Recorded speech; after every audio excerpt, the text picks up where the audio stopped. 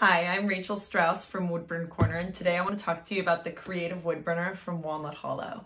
I want to show you the four different points that come with it and how to use them. Let's check it out. The points that come with the Creative Woodburner are now available in individual packages in case you want extras or a replacement. The rounded shading nib is a fantastic shader and great for fine lines. The universal shading point is very similar to the rounded shading point, but it has a very sharp tip. The drawing point is probably one of my favorites. It has a flat side and a skinny side and can draw just about anything.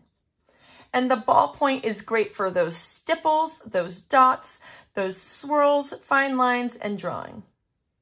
Check them out.